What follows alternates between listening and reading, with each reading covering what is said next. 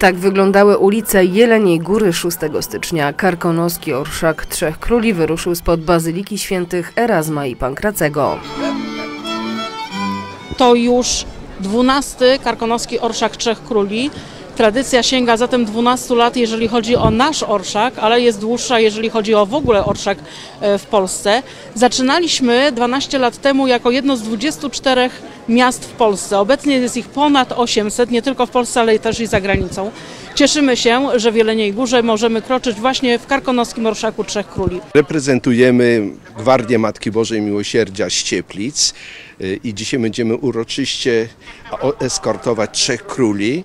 Bierzemy udział, żeby celebrować to święto, ten dzień. Przede wszystkim chcemy z radością tradycję śpiewania kolęd utrzymywać. Chcemy się cieszyć tym, że prowadzi nas, tak jak w tym roku, gwiazda, bo takie jest hasło tegorocznego orszaku, prowadzi nas gwiazda do dobra, do miłości, do pokoju, do radości, do tego wszystkiego, co możemy dać drugiemu człowiekowi, właśnie dlatego, że narodził się ten, który ma zbawić nas od wszystkiego złego. 6 stycznia w Jeleniej Górze był radosny, rodzinny i z kolendami w tle. Występ artystyczny przygotowały m.in. dzieci z miejskiego przedszkola numer 27. Nowe tle,